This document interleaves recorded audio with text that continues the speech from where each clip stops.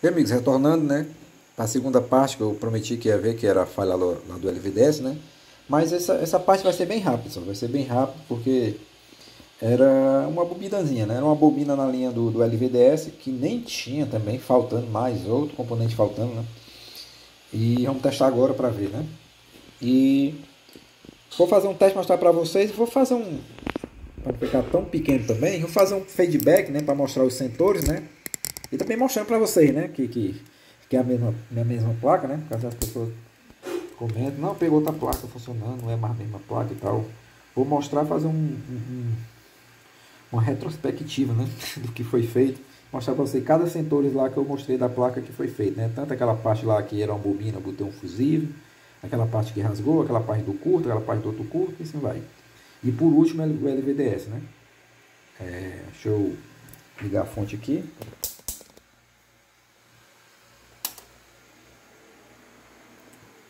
Vamos dar aqui o nosso start improvisado, né?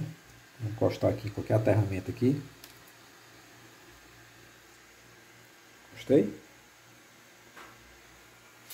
Tá tudo ligadinho, deixa eu ver aqui. Tá, vamos encostar aqui. Pronto, encostei. Agora encostei. Deixa eu botar aqui para não voltar, para não dar curto em nada, né? E, ó. Deixa eu dar um pico no consumo maior.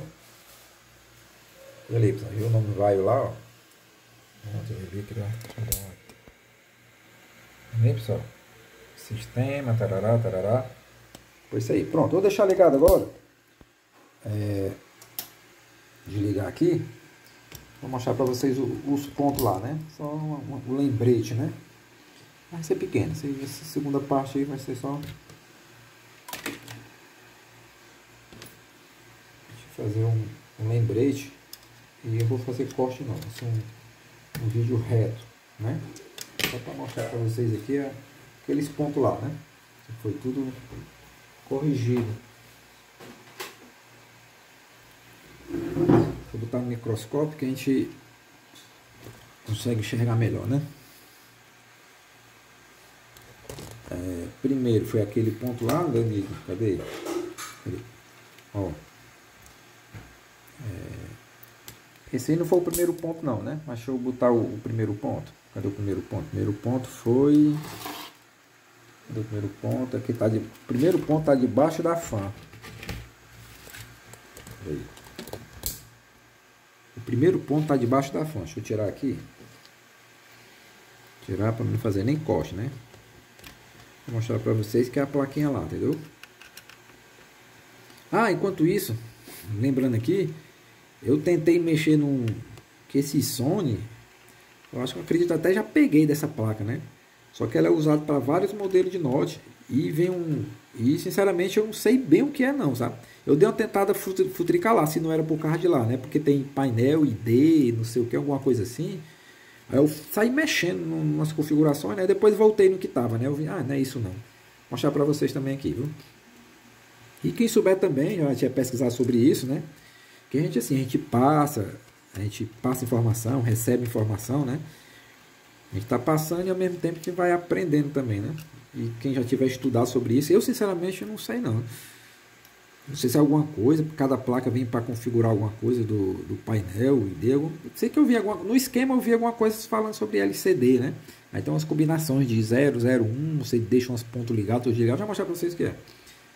E muitas placas vêm, não sei bem ao certo o que é não, né? Se é porque para cada uma vem uma configuração para sair na tela, até desconfiei pensando que fosse isso, né? Mas vamos lá. Fazendo, como eu disse, né? Fazendo a retrospectiva, né? Primeiro ponto, né? Deixa eu ver aqui. Lembra lá, ó?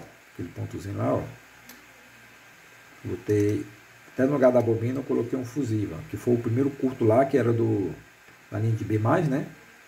Chega, rasgou e chegou com o meu trima, eu peguei aqui, raspei, peguei a solda do ponto e outro, refiz aí, que era por causa de um curto que estava aqui, né? Bem pertinho no conector da bateria. Vamos lembrar, tá aí, ó. Eu botei o capacitorzinho do lado. Aí depois, né? Aí fico, depois que eu tirei esse curto, ficou aquele, aquele picozinho de, de, de, de, de amperagem baixinho, né? Aí era no 5 volt rum, né? Depois da transferência, que foi essa linha aqui, né? Cadê, cadê, cadê, cadê, cadê, cadê? Pronto, aí foi onde eu, ó, também, aí, falta, aí tava faltando, tava em curto esse, vou falando, né? Só relembrando. Tava em curto esse, componente aqui, só que tava me faltando esse capacitor e esse. Só que esse tá com a rastrilha lascada, né? Eu tive que pegar, ó, fazer meu jump só com solda, pegando desse ponto ligando a esse, entendeu? Pronto. Aí por último, né, que é o LVDS, né? Coloquei essa bobinazinha aqui que levava o, a linha B+, né? Que a linha B+, ela vai lá para a tela LCD, né? Por isso que não estava dando tela. Ele tá... Encaixar os pontos né? Cadê, cadê? Fazendo só essa retrospectiva aqui e pronto, pronto. Tá até aí, ó. Tá até um pouco tortinho, mas a salda tá pegando bem. Opa, opa. L83, tá vendo aqui, ó? L83. Aqui é a nossa bobina. Entendeu? E, e a questão que eu falei é isso aqui, ó. Esse negocinho aí, ó. Tá aí, ó. Eu até pintei, bati uma foto, porque ele é todo branco. A gente não sabe nem para que lado tá, se tá para cima, tá para baixo. Aí eu bati uma foto, né? Botei até um esmaltezinho por cima, bati a foto que é para eu ficar brincando de botar para cima, para baixo, eu sair botando várias combinações, né? Para depois voltar no estado que que tava, né? Aí eu mexi, mexi, mexi, não, né? Não é isso aqui não, deixa eu ir lá pro LVDS mesmo. Aí foi onde eu vi a falha da linha da bobina. Pois é isso aí, pessoal. Este vídeo vai ser mais rápido, né? Graças a Deus com a LVDS. Geralmente a LVDS a gente consegue um reparo rápido, né? Quando não é falha. É, na maioria é, é, é fica simples e, e dá para reparar, né? Tem alguns que trabalham com circuito integrado, os LVDS um pouco mais complexos e tudo, mas um, um, é, ruim é quando é na parte do controlador, né? Quando é PCH ou quando é processador, que é aqueles processadores junto com o PCH, né? Mas na maioria dos casos, né? é, dá para ter um diagnóstico rápido sobre a questão do LVDS, beleza? Até a próxima aí, pessoal. Valeu, show!